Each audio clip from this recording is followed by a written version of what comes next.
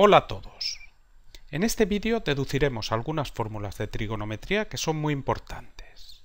Estas fórmulas van a relacionar las razones trigonométricas de los ángulos.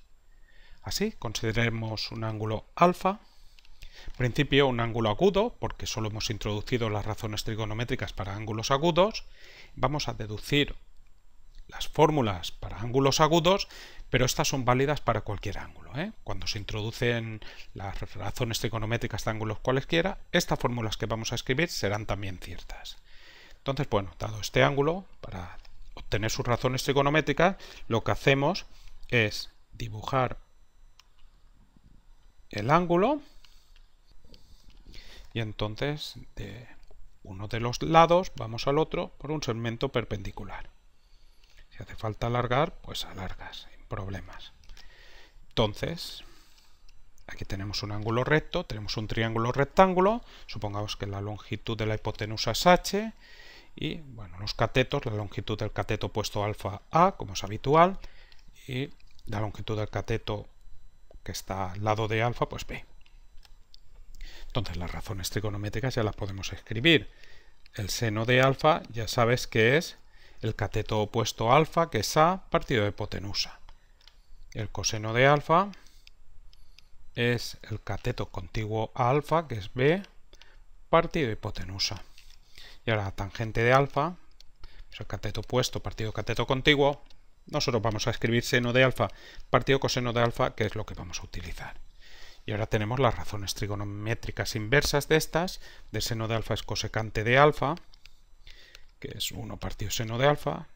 Lo dejamos así, nos escribimos en función de ABH, secante de alfa, que es 1 partido coseno de alfa, y cotangente de alfa, que ya sabes que es 1 partido de tangente de alfa, y bueno, es darle la vuelta a la expresión anterior, es coseno de alfa, partido seno de alfa. Entonces ahí tenemos las expresiones de las razones trigonométricas de alfa. Y entonces vamos ya por las fórmulas. Y la primera de las fórmulas se conoce como la fórmula fundamental de la trigonometría o igualdad fundamental de la trigonometría. También identidad fundamental de la trigonometría. Cualquier caso fundamental, es muy importante. ¿eh? Y se deduce del teorema de Pitágoras. Mira, el teorema de Pitágoras aplicado a nuestro triángulo nos dice que la cateto al cuadrado, vamos a empezar por los catetos, pues a al cuadrado, por ejemplo, más b al cuadrado, ¿eh? la suma de los cuadrados de los catetos es igual a la hipotenusa al cuadrado. Entonces, aquí, pues ya sabes que si dividimos las dos partes de la igualdad por un mismo número distinto de 0, entonces se mantiene la igualdad. ¿eh? Entonces dividimos por h cuadrado, a cuadrado más b cuadrado partido h cuadrado, en la parte izquierda esto sería h cuadrado partido h cuadrado. Entonces en la parte izquierda pues dividimos cada uno de los sumandos por h cuadrado, a cuadrado partido h cuadrado más b cuadrado partido h cuadrado. Esto te queda h cuadrado partido h cuadrado que es 1. Entonces ahora pues los cuadrados de arriba y abajo de las fracciones pues podemos poner un cuadrado que afecta a toda la fracción. Entonces a cuadrado partido h cuadrado es a partido h todo al cuadrado más b cuadrado partido h cuadrado es b partido h todo al cuadrado. Esto sería igual a 1. Y bueno, ya está la fórmula ahí. ¿eh? Se obtiene a partido h, pues miramos arriba, seno de alfa. Seno de alfa al cuadrado. Y ahora más b partido h es coseno de alfa. Coseno de alfa al cuadrado, esto es igual a 1. Esto, como digo, se conoce como la fórmula fundamental de la trigonometría. Pero bueno, no se expresa así, una ligera modificación, y es lo siguiente. Mira, aquí tengo una potencia del seno de alfa, aquí tengo una potencia de coseno de alfa, he puesto ahí un paréntesis, y entonces en matemáticas lo que se hace es, pues, para evitar ese paréntesis que he puesto ahí, pues poner el cuadrado encima del seno y del coseno. O sea, se escribe seno de alfa al cuadrado como seno, el cuadrado se pone aquí, alfa. Y lo mismo con el coseno. y con el resto de razones trigonométricas y también cuando en lugar de un cuadrado pues tenemos otra potencia. ¿eh? Se pone el cuadrado ahí. Con esto, ¿eh? esta parte derecha, pues ponerlo de la parte izquierda, pero así nos ahorramos los paréntesis. Entonces recuerda que esto es así. ¿eh? Cuando se pone seno cuadrado de alfa, significa que el cuadrado afecta a todo el seno, a toda la expresión, ¿eh? con el paréntesis. Cuando tienes coseno cuadrado de alfa, pues afecta al cuadrado a todo. ¿eh? Eso te tiene que quedar muy muy claro porque muchas veces cuando trabajamos con expresiones como las que tenemos aquí en la parte derecha, pues interesa expresarlas como en la parte izquierda para poder trabajar. Pero en matemáticas esto es habitual. Entonces esta fórmula se escribe como seno cuadrado de alfa más coseno cuadrado de alfa igual a 1. Y como digo, esta fórmula se conoce como la fórmula fundamental de la trigonometría. Muy importante. La vamos a utilizar constantemente. De la trigonometría.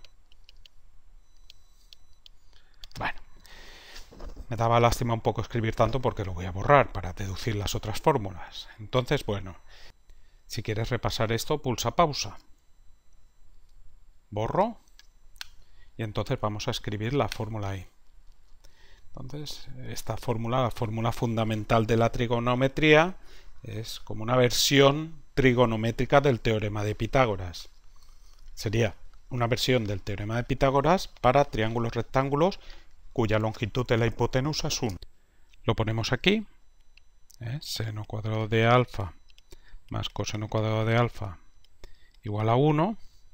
Ya sabes que tanto seno cuadrado de alfa como coseno cuadrado de alfa pues para seno cuadrado de alfa primero se hace el seno de alfa y después se hace el cuadrado. Para coseno cuadrado de alfa primero se hace el coseno de alfa y después se hace el cuadrado. ¿eh?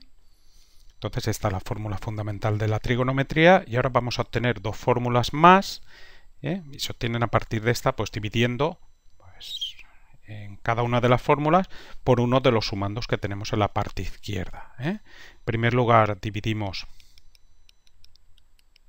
las dos partes de la igualdad por el seno cuadrado de alfa. Entonces, bueno, en la parte izquierda dividimos por seno cuadrado de alfa, luego dividimos cada uno de los sumandos. Obtenemos seno cuadrado de alfa partido seno cuadrado de alfa más coseno cuadrado de alfa partido seno cuadrado de alfa. Esto sería igual a 1 partido el seno cuadrado de alfa. Y entonces, bueno, Aquí el primer sumando, pues seno cuadrado de alfa con seno cuadrado de alfa se va. Nos quedaría 1 más. Y ahora aquí, pues vamos a hacerlo en dos pasos, ¿eh? porque todavía estamos un poco verdes a la hora de trabajar con ese cuadrado encima del coseno y del seno. Pues el primer paso vamos a escribir el coseno cuadrado de alfa como coseno de alfa al cuadrado. El segundo, pues abajo seno de alfa al cuadrado es seno cuadrado de alfa y esto sería igual a 1 partido seno cuadrado de alfa, pues ya sabes que eso es seno de alfa al cuadrado. Y entonces, bueno, pues tenemos 1 más, ahora el cuadrado que tenemos en el numerador y denominador lo ponemos fuera, coseno de alfa partido de seno de alfa, esto al cuadrado, esto sería igual y ahora aquí ponemos poner un cuadrado si quieres, uno cuadrado es lo mismo que 1 y entonces pues hacemos lo mismo que hemos hecho en el anterior elemento, el cuadrado fuera de la fracción. Tendríamos 1 partido seno de alfa, esto elevado al cuadrado. Perfecto, entonces aquí pues vamos a sustituir expresiones que tenemos arriba. Mira, hemos obtenido que 1 más Ahora, coseno de alfa partido seno de alfa, observa que es la cotangente de alfa. Esto al cuadrado sería igual, y en la parte derecha tenemos 1 partido seno de alfa, observa que es cosecante de alfa. Esto al cuadrado. Entonces esta es la segunda fórmula que buscábamos, lo único que al igual que hemos hecho con el seno cuadrado de alfa y coseno cuadrado de alfa, ahí podemos ahorrarnos el paréntesis poniendo el cuadrado encima de la cotangente y encima de la cosecante. Y esta es la fórmula pues que, que es la forma en la que se suele presentar esta fórmula. 1 ¿eh? más cotangente cuadrado de alfa igual a cosecante al cuadrado de alfa. Entonces esta es la segunda fórmula que vamos a copiar aquí.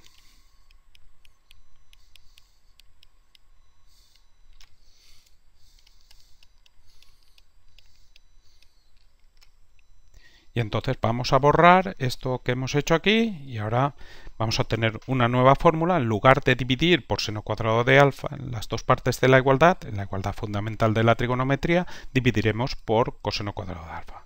Bueno, voy a mantener esto, borro así. Donde hemos puesto dividimos por seno cuadrado de alfa, pues ahora voy a cambiar ese seno cuadrado de alfa por coseno cuadrado de alfa. Entonces, pues aquí ponemos coseno cuadrado de alfa. Perfecto. ¿eh? La fórmula fundamental de la trigonometría.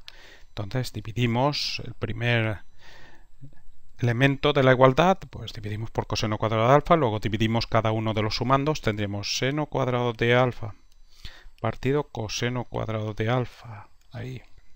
Parece que va a salir una tangente. Más ahora coseno cuadrado de alfa partido coseno cuadrado de alfa. Esto sería en la parte derecha 1 partido coseno cuadrado de alfa. Entonces de aquí, pues observa que este se va con este, nos va a quedar un 1 ahí. Si quieres vamos a ponerlo delante, 1 más, y eso ya está. Y ahora seno cuadrado de alfa partido coseno cuadrado de alfa, sacaremos el cuadrado del seno de alfa, el cuadrado del coseno de alfa fuera. Entonces, bueno, vamos a hacerlo, que no cuesta nada. Seno de alfa al cuadrado, abajo coseno cuadrado de alfa es coseno de alfa al cuadrado, esto sería igual a, pues, ponemos esto así, coseno cuadrado de alfa, pues también, poco a poco, que no tenemos prisa. Entonces de aquí, pues tendríamos 1 más, ahora tenemos una fracción, arriba cuadrado, abajo cuadrado, podemos escribir el cuadrado de una fracción de seno de alfa partido coseno de alfa, como decimos, el cuadrado. Esto sería igual, y ahora si quieres un cuadrado aquí, por lo de la parte derecha, pues hacemos lo mismo, sería 1 partido coseno de alfa, esto al cuadrado. Y entonces, pues tenemos 1 más, ahora seno de alfa partido coseno de alfa es la tangente de alfa, esto todo al cuadrado, pero ya sabes que el cuadrado se pone así, Nos hemos ahorrado un paso y ahora tendríamos 1 partido coseno de alfa, que como puedes ver arriba secante de alfa, al cuadrado, pues pones el cuadrado aquí. Y obtenemos una nueva fórmula, 1 ¿eh? más tangente cuadrado de alfa sería igual a secante cuadrado de alfa. Me va a quedar ahí un poco pequeñito, pero yo voy a borrar esto que tengo aquí abajo. Si quieres repasarlo, pulsa pausa y por lo menos lo voy a recuadrar, ¿no? Para que se vean ahí esas fórmulas que hemos obtenido que como digo son muy muy útiles. Estas fórmulas por ejemplo permiten obtener razones trigonométricas de un ángulo a partir de las otras. Conociendo una razón trigonométrica pues puedes conocer las otras. Bueno esto es cierto cuando tenemos ángulos agudos y después para ángulos cualesquiera pues tendrás que conocer además el cuadrante. Entonces estas son las fórmulas, como digo, la primera la fórmula fundamental de la trigonometría y las otras dos que se deducen de esta que también son muy útiles. Y con esto terminamos este vídeo sobre fórmulas trigonométricas y el próximo vídeo tratará sobre triángulos rectángulos. Lo que haremos es resolver triángulos rectángulos, esto es, a partir de una serie de datos en un triángulo rectángulo calcular otros. No te lo pierdas.